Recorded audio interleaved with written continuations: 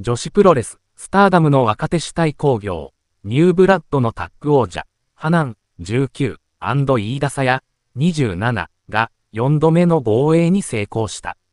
写真、クレイサヤカを合体攻撃で攻める飯田沙耶とハナン。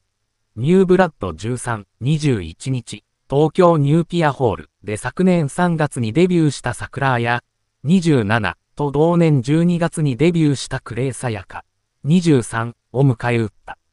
新人らに奇襲攻撃を仕掛けられた王者組だったが、高連携ですぐに形勢逆転に成功。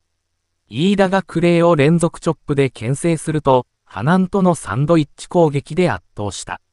最後は飯田がクレイをラリーアートで打ち抜き、3カウントを奪った。試合後、マイクを持った飯田は、防衛したぞ。二人がこんなにタッグ力高いと思ってなかったよ。お前らのおかげで体が熱い。燃えたよと新人の健闘を称え、ハナンも、これからあなたたちが私たちを脅かす存在になってくださいとエールを送った。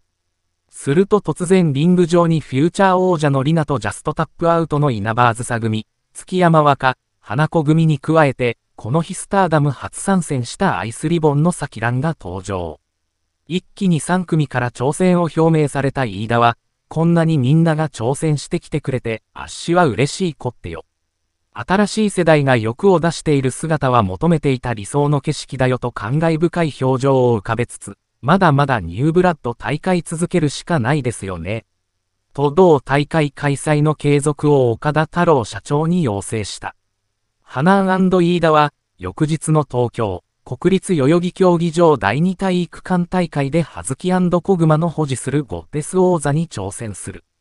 V4 を達成し、王座戦に勢いをつけた波南は、ニューブラッドタッグとゴッデス、史上初のタッグ2冠チャンピオンになりたいと思います。と宣言した。